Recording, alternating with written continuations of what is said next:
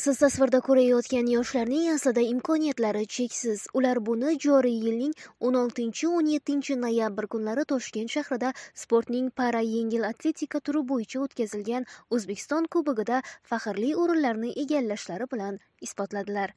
Mazkur musobaqada Ellikqal'a tumanining birinchi va ikkinchi sonli sport maktabi o'quvchilari munosib ishtirok etdilar. Unda sportning para-yengil atletika turi bo'yicha O'zbekiston Kubogida birinchi sonli sport maktabi sportchisi Zuhra Hasanbayeva uzunlikka sakrash bo'yicha bronza medalini qo'lga kiritgan bo'lsa, Muxlisa Ismailova nayza uloqtirish bo'yicha kumush, yadro uloqtirish turi bo'yicha bronza medali sohibi bo'ldi. Shuningdek, ikkinchi sonli bolalar va o'smirlar sport maktabi shug'ullanuvchisi Dilmurod Atavullayev nayza va disk uloqtirish bo'yicha faxrli uchinchi o'rinni egallab, bronza medalini qo'lga kiritdi.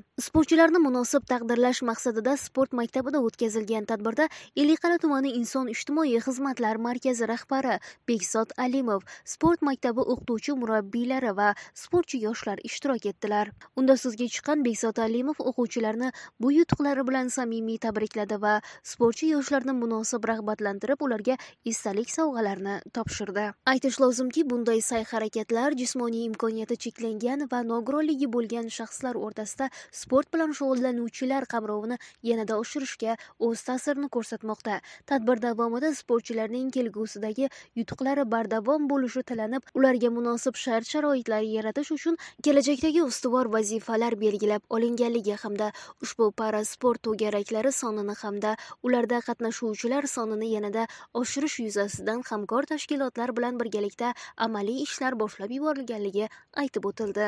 Bizni imkoniyatlarimizni kashf qilishda yordam berayotgan e, shu imkoniyatlarimizni borincha ko'rsatishimizga yordam berayotgan prezidentimizga boshchilarimizga o'z minnatdorchiligimni bildirib o'tmoqchiman.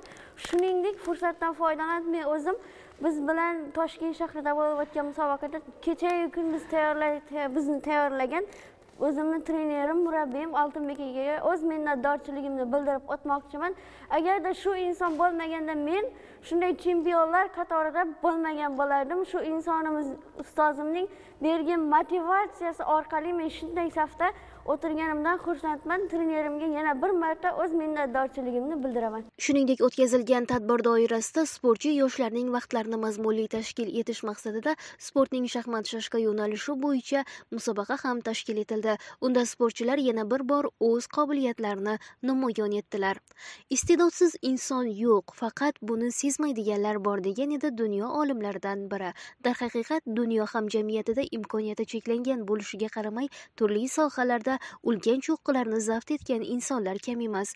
Sportchi mashhur san'atkor hatto siyosiy yetakchi bo'lgan shaxslar ham talaygina. Bularning barchasi ichki olamning qalb va ruhning salomatligida. Shunday ekan inson imkoniyati cheklanganiga emas imkoniyati cheksiz ekanligiga ishonishi lozim.